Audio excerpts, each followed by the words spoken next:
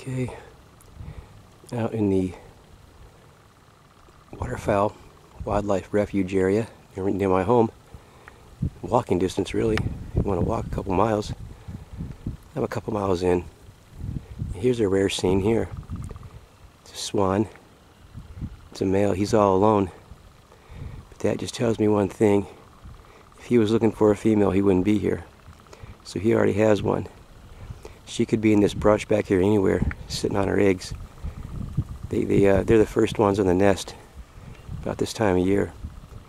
He'll stay out here and guard relentlessly until those babies hatch. So I'm going to hope that the flooding wasn't too much for them and she's still around somewhere. She's doing okay. I don't see any, I don't see her. Keeps looking over to my left. See?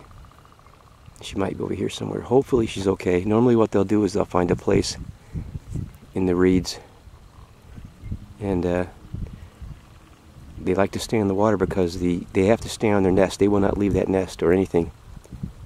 And if the uh, they're attacked by coyotes or foxes, they'll they'll defend themselves to the death. They'll defend that egg to the death. So I'm hoping everything's okay. He's a this is a beautiful specimen. Looks really really healthy. A little closer. He looks really healthy. There's probably a good food supply in here. And right across behind me, it's a cornfield they plant just for the animals, a refuge area.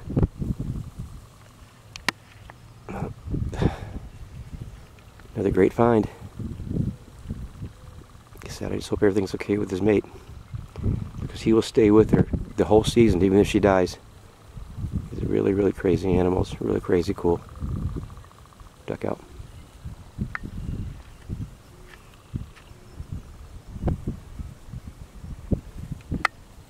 In the wild.